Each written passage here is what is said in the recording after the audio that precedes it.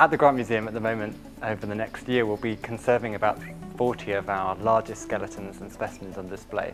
Um, these have been on display for about 180 or up to 180 years, and they've been slowly gathering dust and other pollutants, and they may have been mounted on outdated, wrong materials.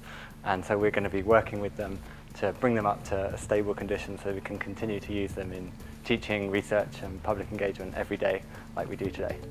The Grant Museum is kind of a central point for um, students doing zoology and, and, kind of other bioscience subjects. It means that we can come here in our free time, we have access to most of the specimens to, to look at and, and freely think about the subject that you're doing. And when you have a museum like the Grant Museum, you can come along and, and actually see the things themselves and it brings you a lot closer to what you're studying.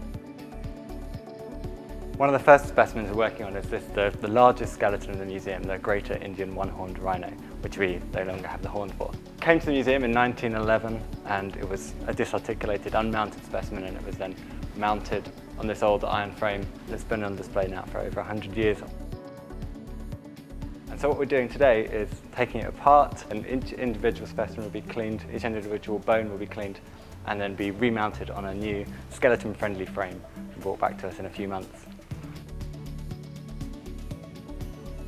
So with a specimen this size, obviously the, the weight and the awkward uh, centres of gravity that a skeleton like this has is a real challenge. It's something that's always going to be very hard to put in a case, it's always going to be in a museum like ours on open display, which is really fantastic for the visitors because we get up close and personal to it, but it does suffer a bit from gathering pollutants.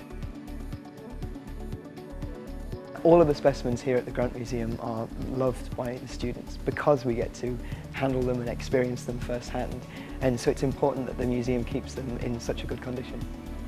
All of this work for 40 large-scale specimens requires quite a lot of money and so we've, we've raised about half of what we need but we're currently starting a big fundraising campaign called the, the Bone Idols Preserving Our Iconic Skeletons campaign. So we're really hoping that people will get behind us and, and uh, start donating.